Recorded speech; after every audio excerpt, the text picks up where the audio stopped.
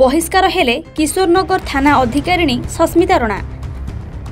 গত তেইশ তারিখ দিন গুণনিধি বিশোই নামক জনে ব্যক্তি যিকি সালেপুর ব্লক কিশোরনগর থানাকু জমিবাড়ি বিবাদকু নেই ন্যায় পাইবা পাই দীর্ঘ দিন ধরি থানা দৌড়ি দৌড়ি নয়ান্ত হয়েছিলেন এনে সে বারম্বার অভিযোগ করুলে কিন্তু তাঁকু কোণী গুরুত্ব দিয়ে যাও নথিলা এবং থানা অধিকারিণী তাঁকু দুর্ব্যবহার প্রদর্শন করুলে ଯାହାର ଫଳସ୍ୱରୂପ ଗୁଣନିଧି ଆତ୍ମାହୁତି ଭଳି ଚରମ ପଦକ୍ଷେପ ନେବା ପାଇଁ ବାଧ୍ୟ ହୋଇଥିଲେ ପରିଶେଷରେ ଏକ ଘରୋଇ ହସ୍ପିଟାଲରେ ଚିକିତ୍ସାଧୀନ ଅବସ୍ଥାରେ ସେ ମୃତ୍ୟୁବରଣ କରିଥିଲେ ଏହା କିଶୋରନଗର ଅଞ୍ଚଳରେ ଏକ ନିନ୍ଦନୀୟ ଘଟଣା ଘଟିବା ସହ ସାଧାରଣରେ ତୀବ୍ର ଅସନ୍ତୋଷ ଦେଖାଦେଇଥିଲା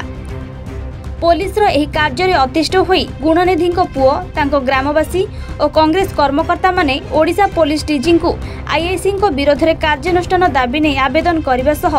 ଡିଜି ଅଫିସ ଆଗରେ ଧାରଣାରେ ବସିଥିଲେ